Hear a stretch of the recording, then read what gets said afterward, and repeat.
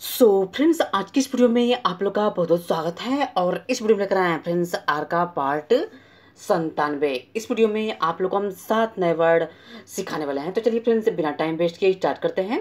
जिसमें आज का जो सबसे फ़र्स्ट वर्ड है फ्रेंड्स वो है आप लोग का reel R double E L reel में होता है फ्रेंड्स चरखी।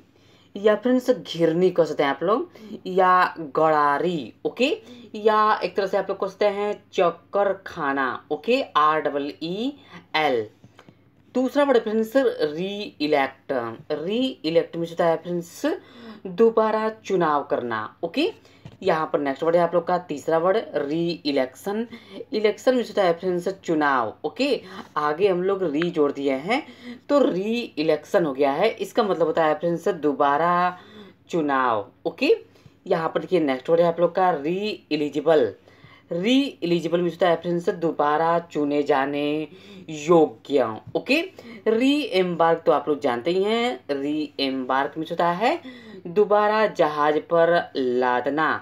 और इसी वर्ड में फ्रेंड्स सब लोग आगे A T I O N जोड़ेंगे तो री एम्बार्केशन हो जाएगा। री एम्बार्केशन में होता है। फ्रेंड्स दोबारा जहाज़ पर लादने का कार्य। इस वीडियो का जो लास्ट वर्ड फ्रेंड्स वो है आप लोग का री इमर्ज री इमर्ज में होता है फ्रेंड्स दोबारा जल में से निकलना ओके सो गई एक बार और रिपीट करते हैं। सबसे पहला बताएँ आप लोग को रील जो कि चरखी या घिरनी या कड़ारी होता है।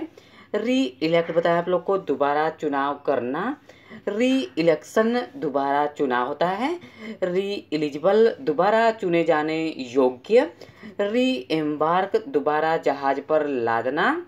री एम्बार्केशन जो कि दोबारा जहाज़ पर लादने का कार्य होता है। इस वीडियो का जो लास्ट वर्ड बताया आप लोग को री इमर्ज दोबारा जल में से निकलना, ओके? सो कही आगे मिलते हैं आप लोगों से। आर का पार्ट अंठानवे में। नमस्कार।